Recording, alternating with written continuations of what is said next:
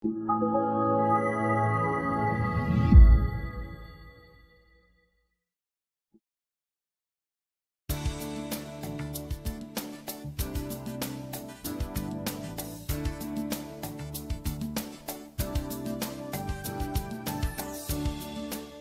and welcome to Pharmacy Pearls. I'm Greg Cummings, pharmacist and certified diabetes educator. Most smokers seeking treatment for smoking cessation make repeated quit attempts. As a result, an increasing proportion of continuing smokers will have tried these medications before. Unfortunately, abstinence rates are more than threefold lower for nicotine replacement therapy and twofold lower for bupropion when compared to initial treatment. In this edition of Pharmacy Pearls, we'll consider a study which examined the effectiveness of retreatment with varenicline to see how it compares in this regard. Please stay tuned to the end of the video for a link to the study.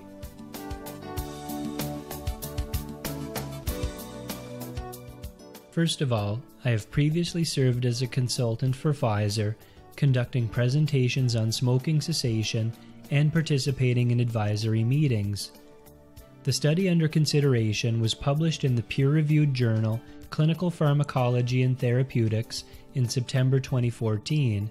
It was industry sponsored and was a double blind, placebo controlled, randomized multicenter clinical study consisting of a 12 week drug treatment phase followed by a 40 week post drug treatment follow up phase.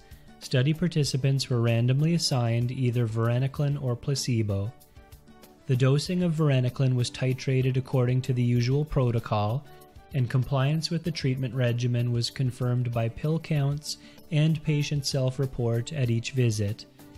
Individual smoking cessation counseling was also provided to all participants.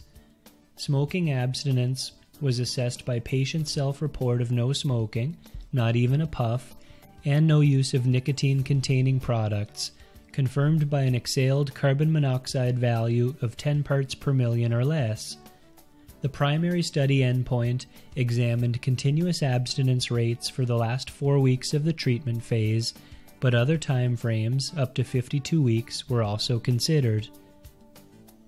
Eligible participants were at least 18 years of age or older, smoked at least 10 cigarettes per day during the four weeks before screening, had an exhaled carbon monoxide value greater than 10 parts per million at screening, had no quit attempts in the past three months, had previously taken varenicline for two or more weeks, with the last dose taken at least three months before screening, and were motivated to stop smoking.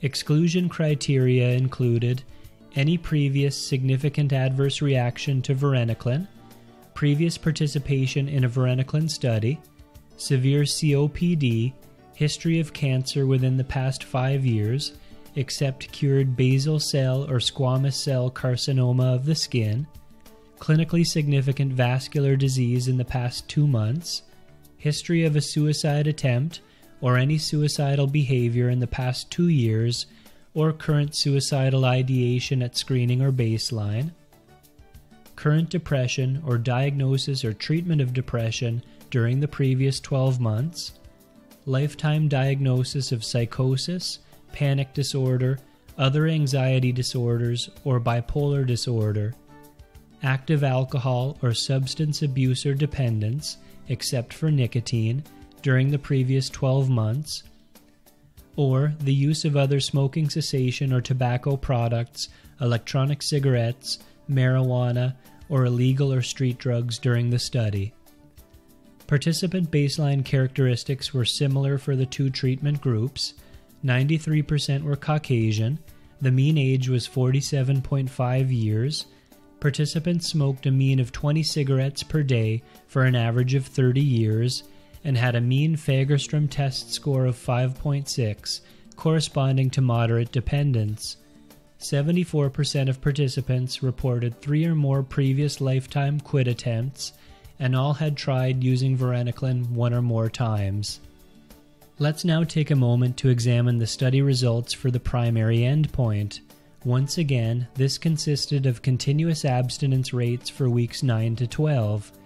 According to study results, for every 100 people retreated with placebo for 12 weeks, 12 people will stop smoking and 88 people will continue smoking.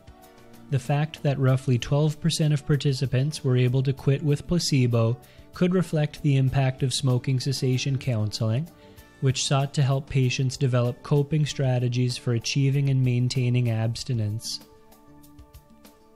By comparison, according to study results, for every 100 people retreated with varenicline for 12 weeks, 46 people will stop smoking and 54 people will continue smoking.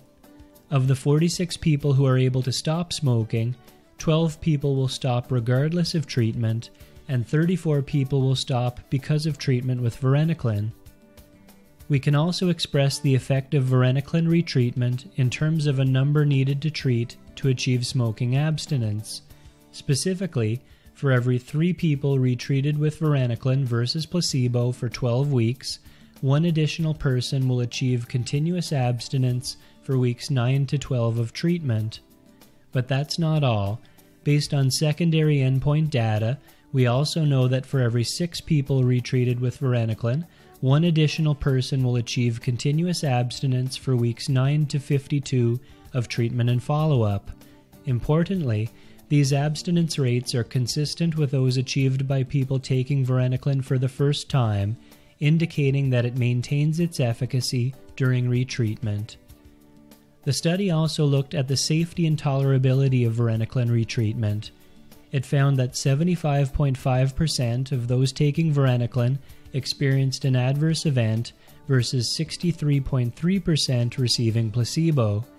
7.2% of varenicline users discontinued treatment due to tolerability versus 2.9% with placebo, and 12.4% of varenicline users decreased their dose or temporarily stopped treatment versus 4.5% with placebo.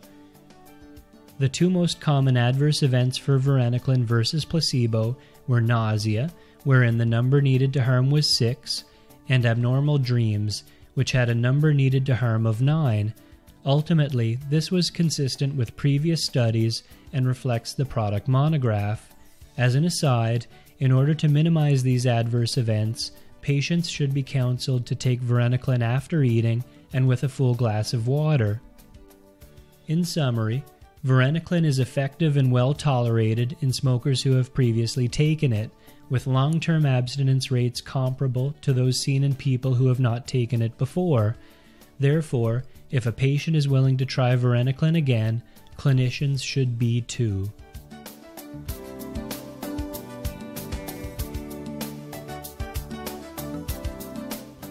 Thanks for watching. To read the study upon which this video is based, visit pharmacypearls.com slash retreatment. Please also show your support for Pharmacy Pearls by subscribing to my YouTube channel.